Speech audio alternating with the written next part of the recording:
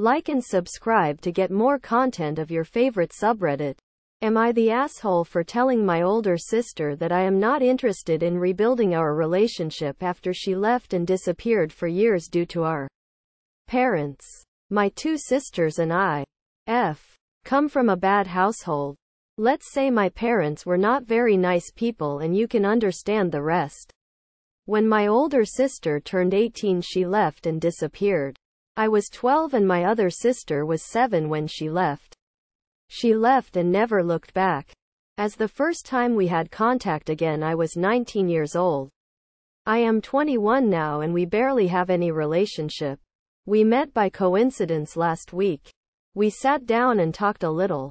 She started being sentimental and reminiscing about our childhood and then she wondered how did we end up like this?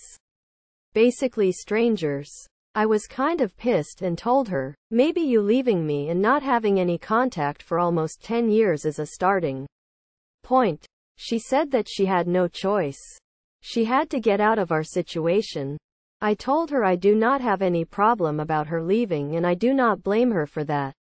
It is not her fault. But I do not understand the complete no contact for all these years. She apologized and asked me if we can try to rebuild our relationship again. I refused and told her that you cannot just forget that you had a sister for like 10 years and then say let's try to be sisters again and that she can try with our youngest sister if she want.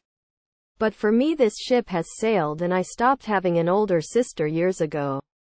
Am I the asshole? Thank you for watching. Don't forget to like and subscribe to get more content of your favorite subreddit.